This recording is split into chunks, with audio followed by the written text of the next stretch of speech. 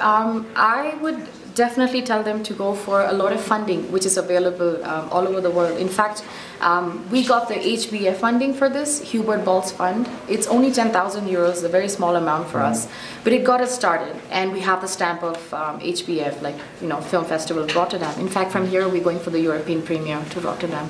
So I feel that, um, and there's so many opportunities, um, and there's no dearth of opportunities to get funding. Of course, you need to be, you know, in the in the um, competition and getting the top 11 in the world for that year, uh, getting the funding. But I think it's good to have an institution uh, behind you, backing your project, um, which will make it a little stronger for independent producers to search for you since you're going to go to a lot of co-production markets around the world and you're exposed to a lot of people as well.